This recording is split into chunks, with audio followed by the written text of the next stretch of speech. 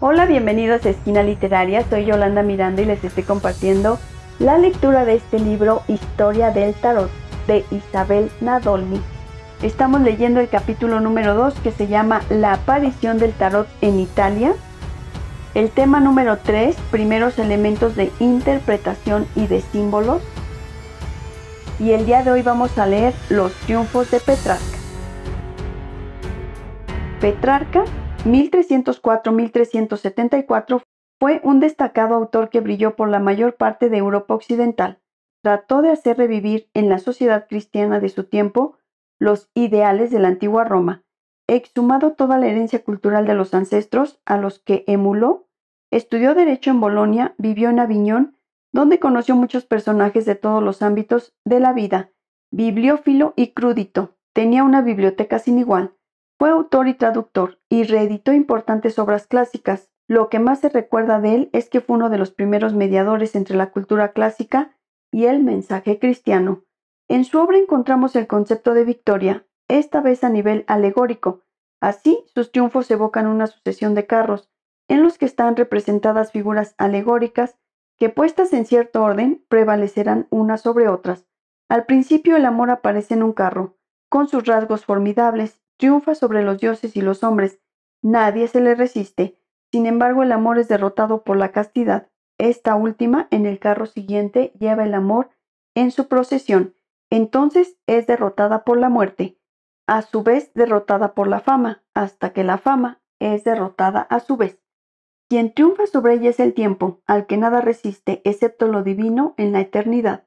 Representada en el último carro con el que concluye el desfile, las representaciones de estos poemas de Petrarca muestran hermosas similitudes con las figuras que encontraremos en las cartas del juego de los Triunfi, un futuro tarot.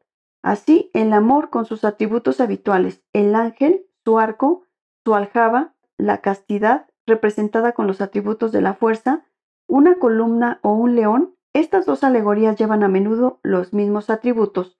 La muerte que aplasta a todos los hombres, incluso a los ricos y poderosos, como en la carta del tarot, la fama con sus ángeles y trompetas, y el tiempo, el anciano con un reloj de arena, representado en las primeras cartas del tarot italiano y que se convirtió más tarde en el ermitaño. En los atributos de la divinidad, eternidad, reconocemos el globo terráqueo que representa el mundo. Esta noción de triunfo incluye también la idea de jerarquía. En el poema de Petrarca, una alegoría prevalece sobre otra, porque se la considera superior.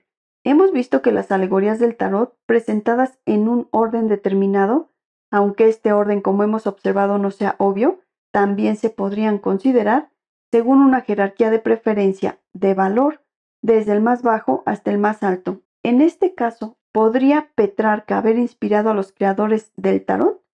Señalaremos de paso que conocía bien a los Visconti, ya que vivió en Milán y fue su embajador entre 1356 y 1361.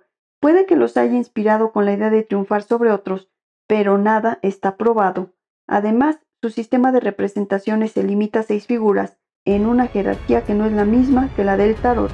Por ejemplo, en este, cualquiera que sea el orden, nunca veremos que el tiempo o el ermitaño suceda a la muerte. Así que aquí tenemos una fuente de inspiración que por sí sola no es suficiente. ¿Hay algo más en el norte de Italia a principios del siglo XV que pudiera haber inspirado a los creadores del juego de los triunfos?